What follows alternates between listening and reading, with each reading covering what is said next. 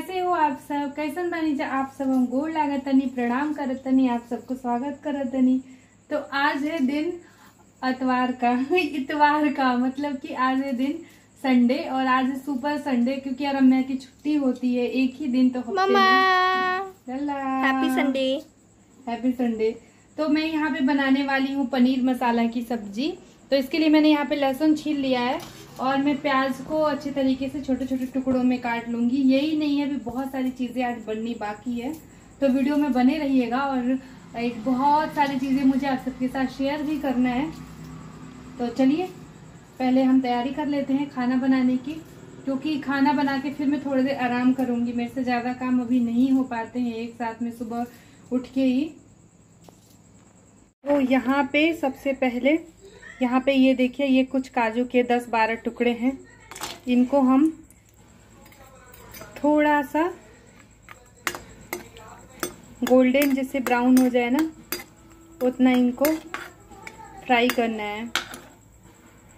काजू मैंने निकाल लिए हैं। यहाँ पे ये है हरी मिर्ची, अदरक और लहसुन। इनको एकदम गोल्डन ब्राउन नहीं करना, बल्कि इनको सॉफ्ट करना है। और यहाँ पे देखिए, मैंने प्याज भी डाल दिए हैं। और ये रहा हमारा पनीर। इसको मैं छोटे छोटे टुकड़ों में काट लूँगी। तब तक। तो यहाँ पे देखिए, मैंने टमाटर भी डाल दिए हैं। और ये सारी चीज़ें जब सॉफ्ट हो जाएँगी ना थोड़ी सी तो इनको निकाल के मिक्सर में हम अच्छे तरीके से पीस के पेस्ट बना लेंगे। इस तरीके से आप कभी भी पनीर बनाएँगे तो उसकी सब्ज़ी बहुत टेस्टी बनती है। और इस, और जब तक ये हो रहा है, तब तक हम इस साइड में खीर खीर बनाएँगे आज। अगर रम्या का मन है, इतने दिनों के बाद मम्मी उसकी थोड़ी सी ठीक हुई है कि उसको कुछ अच्छा सा बना के खिला पाए तो बच्चा है, वो भी कितना परेशान हो गया था। तो बहुत ज़्यादा वो परेशान हो गई थी मैं क्या बताऊँ आप सबको। तो थोड़ा सा उसके लिए आज कुछ स्पेशल कर देती हूँ, थोड़ा सा हिम्मत करके। तो अभी मैं दूध लेके आती हूँ। यहाँ पे देखिए, हमने मसाला जो है वो तैयार कर लिया है पीस के।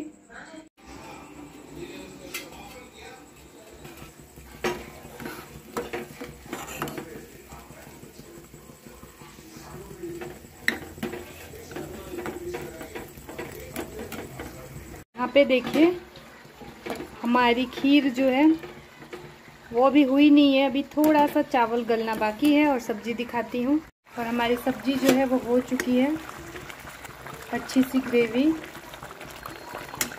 ये यहाँ पे ये वाली थाली जो मैंने दिखाया था, आया था रम्या के लिए तो मैंने रम्या को दे दिया है खीर पूरियाँ सब्ज़ी और ये रहा चाय रम्या के पापा के लिए। हम्म चाय। संडे को सुपर संडे बनाने की मैंने पूरी कोशिश करी है।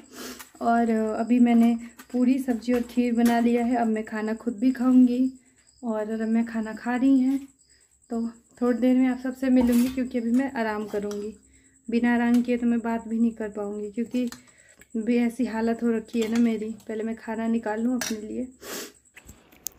तो यहाँ पे आ गया है ब्लीचिंग पाउडर और उसका हम करेंगे काइयों पे छिड़काव। तो हमें कुछ ज़्यादा आइडिया है नहीं लेकिन आ, मैंने इनको बोला। मैं करने जा रही थी तो इन्होंने बोला कि रहने दो लाओ मैं कर देता हूँ तुम्हारी तबीयत ऐसे ही ख़राब है पता चला फिर से काइयों पे चढ़ोगी तो गिर जाओगी। तो यहाँ पे देखिए थोड़ा सा ही है हम लोग अभी ट्राई कर रहे हैं। अगर ये कारीगर रहा तो हम बहुत सारा ले आके फिर सारी चीज़ें यहाँ पर क्लीन कराएँगे।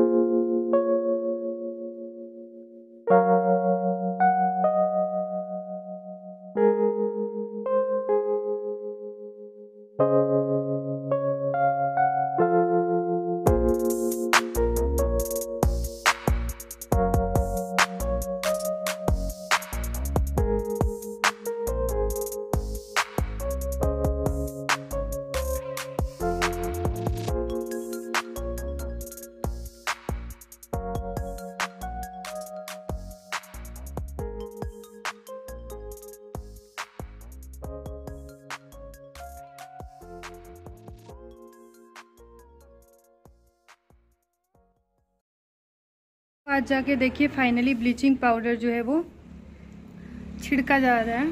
और इसके बाद में मैं पानी से इसको झाड़ू से साफ़ करूँगी आज ही।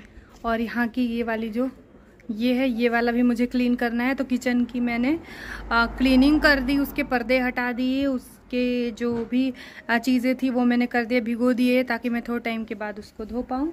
और ये सारे मेरे को काम बाकी है। इसके बाद मैं नहाने जाऊँगी और इसके बाद क्योंकि नाश्ता हमारा हो चुका है। और इसके बाद जो है, वो खाने पीने का जो भी है, कार्यक्रम होगा। तो मेहनत है आज थोड़ी सी ज़्यादा। ये बोल रहे थे कि रहने दो और ब्लीचिंग पाउडर से कुछ नहीं होगा बट हम देखते हैं मतलब करके देखते हैं ये क्या होता है या नहीं होता है, क्योंकि फ़र्स्ट टाइम ऐसे कर रहे हैं। और वरना ऐसे लगवा के काम वाले लोग को साफ़ करवा देते हैं। लेकिन अभी बरसात आने वाली है तो ये बोल रहे थे कि कोई फ़ायदा नहीं तो अभी छिड़कवाओगी फिर पता चलेगा कि बस वही होने वाला है। तो देखते हैं क्या होता है। फ़र्स्ट टाइम हमारा भी एक्सपीरियंस है। और किचन के ये पर्दे ना जाने कब से टंगे हुए थे और टंगे भी हुए थे और इतने गंदे हो रखे थे। वहाँ से ना, जाली जहाँ पे जहाँ पे आप खिड़की देख रहे हैं, वहाँ पे इन्होंने दरवाज़ा आज तक नहीं लगवाया। मैं चिल्लाते चिल्लाते थक गई और बस एक हमेशा डर बना रहता है कि कहीं यहाँ से सांप ना आ जाए। वो जो सांप मैंने दिखाया था ना, नागपंचमी के दिन, आज भी वो सांप वहीं पे है, उसी वाले उसमें है। मैंने हल्दी का धुआँ भी किया, लेकिन वो गया नहीं। तो यहाँ पर देखिए मैं कितनी भी कोशिश कर रही हूँ, लेकिन मैं नहीं चीज़ें कर पाती हूँ। एक डर हमेशा ना दूध खुला छोड़ सकते हैं, ना कोई खाना छोड़ सकते हैं। मतलब एक सेकेंड के लिए भी किचन में ये चीज़ें होती हैं, सारी चीज़ें उठा उठा के फ्रिज में रखो। और यहाँ पे ना डब्बे हैं बहुत सारे और मैंने किचन को बहुत अच्छे तरीके से आजकल सजा के रखा हुआ है। तो थोड़ा सा स्लैब पे ना मेरे से ना दूध गिर गया था और जैसे होता है ना घबराहट होती है तो ऐसा हो जाता है। मेरे से आजकल पता नहीं क्यों दो तीन दिन से ऐसा ही हो रहा है कि बार बार ना दूध जो है ना वो गिर जाती है। और यह की खिड़कियों से बस बार बार झाँक रहे थे। ये वाले जो पर्दे हैं ना, ये भी बहुत ज़्यादा गंदे हो रखे थे, क्योंकि ये गैस के पास पे हैं और जैसे कुछ भी चीज़ें यहाँ पे वो फ़ैन क्या लग बोलते हैं, जिससे कुछ भी छौंको तो वो हवा बाहर जाती है। मुझे पता नहीं है उस फ़ैन को क्या कहते हैं। तो वो मैं बोल रही हूँ उनसे लगवाने के लिए, लेकिन सिर्फ़ और सिर्फ़ मैं बोल ही सकती हूँ। लगवा तो सकती हूँ नहीं, जो चीज़ें मैं घर में रह के नहीं कर सकती, उसके लिए मैं क्या ही कहूँ। तो ये सारे जो पर्दे हैं ना इनको मैं ले जाके भिगो दूँगी और थोड़े टाइम के बाद मैं इनको धो दूँगी। ताकि एक ही बार मैं आ, ये शटर जो है ना इसको भी मुझे क्लीन करना है और मैं सोच रही हूँ कि थोड़ा सा पेंट मंगा के पेंट कर दूँ। और जब मैंने पर्दे हटाए तो देखिए इतने सारे जाले लगे हुए हैं। तो तबीयत ख़राब थी ना तो मैं मतलब डीप क्लीनिंग कर ही नहीं पा रही थी।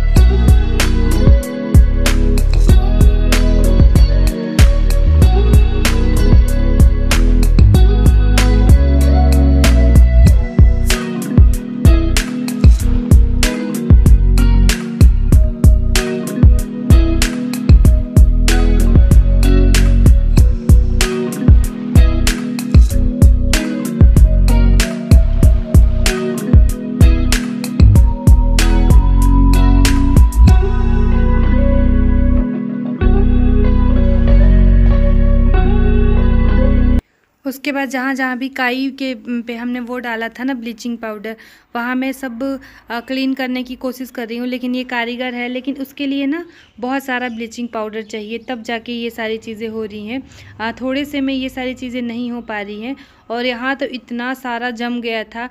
ये क्या करते हैं ना ये मिट्टी से पूरे दिन हाथ धोते हैं और बाहर से भी आते हैं तो चप्पलों में मिट्टी रहती है और यहीं पे ये ज़्यादा मतलब नल पे बहुत ज़्यादा रहते हैं। मतलब कि कुछ भी हो तो हाथ धोते ही धोते हैं। तो ये नहीं करते कि थोड़ा सा यहाँ पे कभी कभी पानी डाल दें। वो मिट्टी ना जमते जमते जमते जमते पूरी एक लेयर की तरह बन जाती है और फिर मुझे आ, मैं तो हमेशा दो दिन में यहाँ की क्लीनिंग तीन दिन में करती ही करती रहती हूँ। लेकिन कभी कभार क्या होता है, अभी तबीयत ठीक नहीं थी तो उसकी वजह से मैं कर नहीं पाई थी और एकदम मोटा सा लेयर यहाँ पे मिट्टी का जम गया था। यहाँ पे सीढ़ियों पे जो हमने डाला हुआ है ना, वहाँ पे मैं पानी डाल के झाड़ू से रगड़ रही हूँ। तो थोड़ा बहुत तो यहाँ से निकल रहा है, लेकिन पूरी एकदम क्लीन ना, उस तरीके से यहाँ पे नहीं हो रहा है। तो मैं थोड़ी सी ऐसे परेशान सी हो रही थी तो ये बोल रहे हैं ना, यहाँ पे चूना डाल देने पे ना, बहुत सारा चूना डालने के बाद तो ये छूट जाएगा। तो देखते हैं, या तो चूना डलवाएँगे या फिर किसी को बुला के यहाँ पे साफ़ सफ़ाई करवाएँगे। और यहाँ पे पाइप लगने वाली है, कितने टाइम से मैं सोचते सोचते थक जा रही हूँ। अब पूरा प्लान भी होता है, लेकिन वो काम जो है, वो हमारा हो नहीं पा रहा है। तो यहाँ पे स्मेल सी आने लगती है, क्योंकि किचन के जस्ट पीछे है ना, और खिड़की भी खुली हुई है।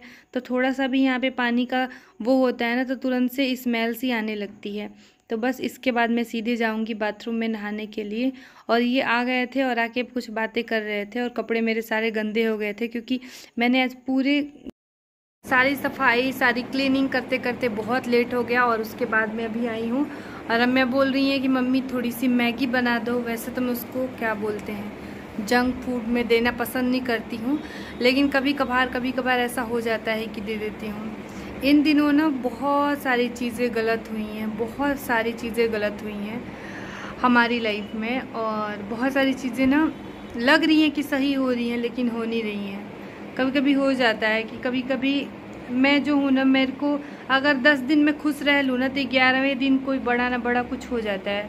किस्मत ही उतनी अच्छी नहीं है, कुछ ना कुछ तो दिक्कत है लाइफ में। जो कुछ भी है, जो ऐसे कर्म किए होंगे, क्या बोलें, नहीं समझ में आता है।